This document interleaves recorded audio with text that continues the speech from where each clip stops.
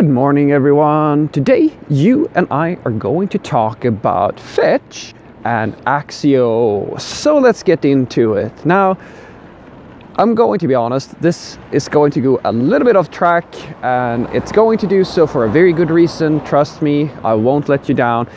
I hope at least. I'd like to think that this is going to be good.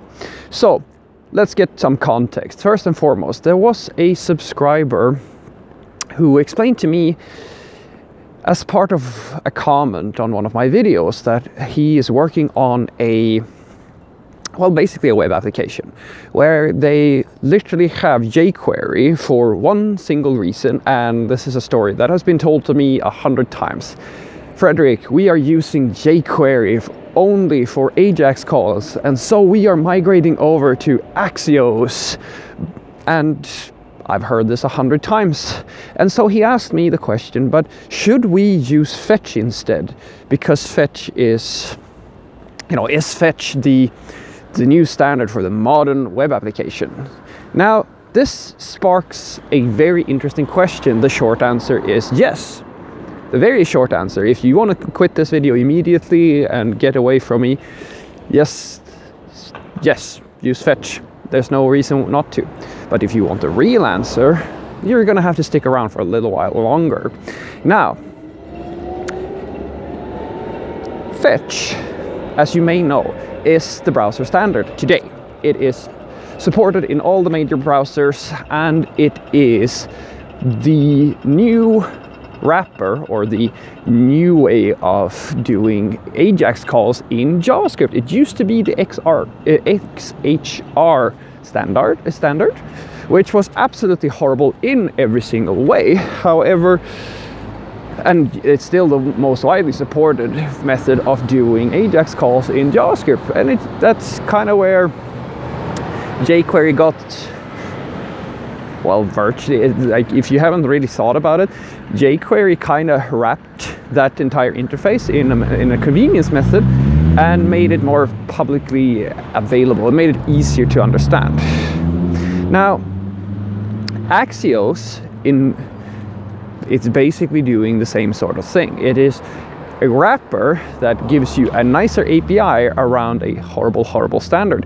And for those of you who are interested in programming patterns, you may actually suspect that this is what we call a decorator pattern. It's basically a convenience method around something that is true is that is ugly or something that you for whatever reason want to, to make a little bit nicer and then you create your own api on top of it so that the consumer has an easier time with it now why am I going on about this? Why am I not just saying that you should go with fetch and or Axios? Why, why, what's this coming from? Well, because I want you to understand a few things when you ask the question should I go with Axios or should I go with Fetch?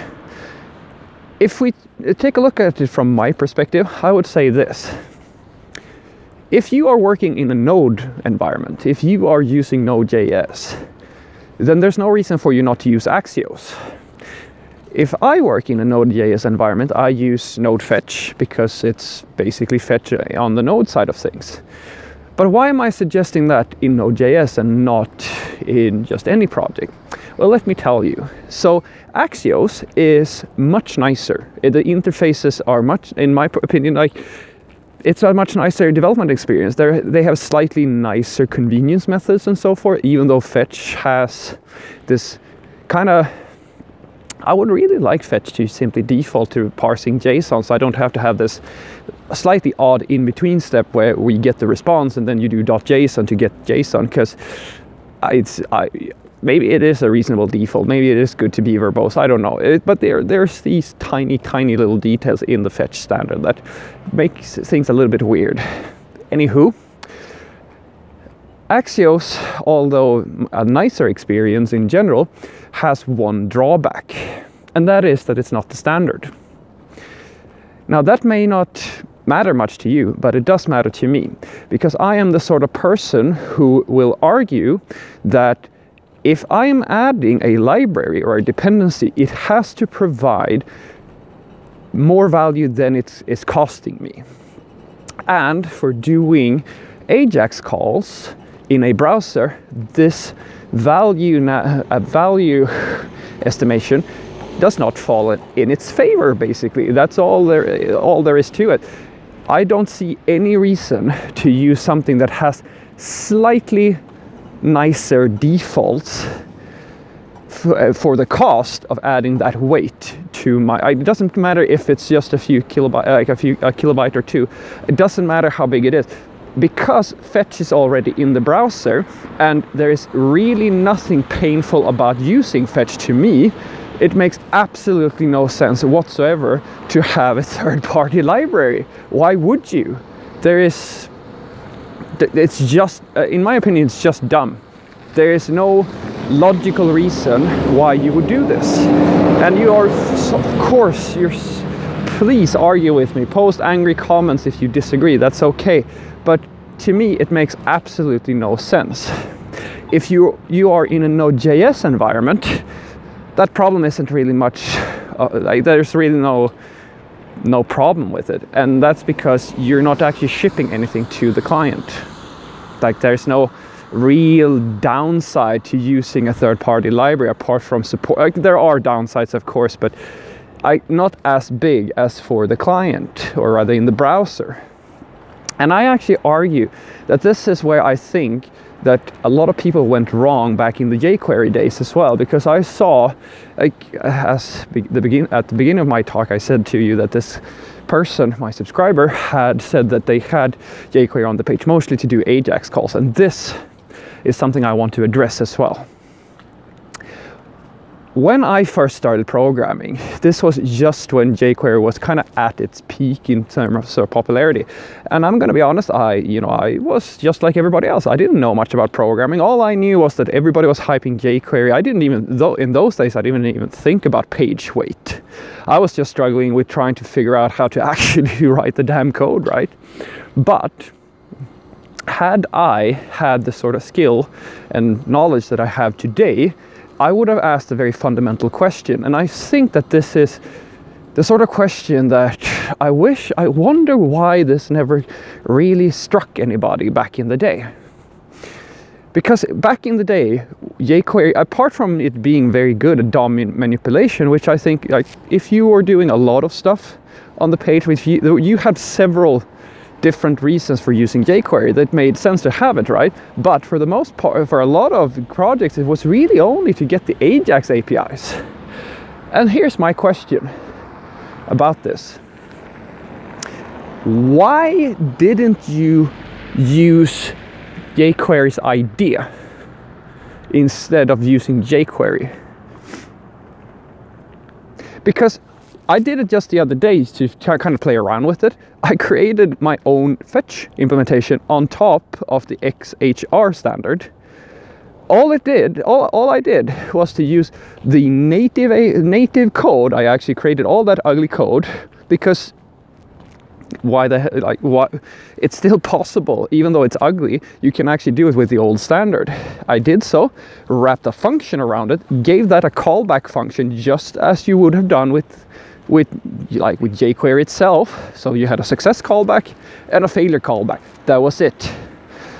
I basically created my own very light, very tiny wrapper or decorator around that standard. And now I didn't need jQuery anymore. And I still had basically the same amount of value coming in. It wasn't as feature rich, but it didn't need to be. I knew what I was going to use it for. It's going to be a get get call or a post call for the most part. I didn't need to be all custom headery or do all of these this other fancy stuff.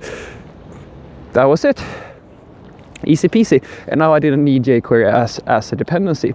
And what I find interesting about these sort of things is that third party libraries and so forth. I kind of I wonder why we got to a point where we simply treat them as just any other code and sometimes I feel that people kind of forget where I, this as I said earlier this value versus cost calculation that you kind of have to do every time. So what I want you to take away from this video is that yes, using a third party library in the right context is, it's, it, there's not, not nothing really bad about it, but always ask yourself if you can get away from using a third-party library because if you have a standard there are very big benefits to having that standard. And if the standard is awful like in the old days ask yourself could i tweak this maybe can i use my own coding skills to make this just a little bit nicer for my specific use case instead of pulling in a third party library that's going to be more risk and more weight to my project. It's just a thought. And if you want me to summarize this, I will say if you're in the browser, use fetch. If you're not in the browser, do whatever you want. Those are my two cents on the matter. Have a great day.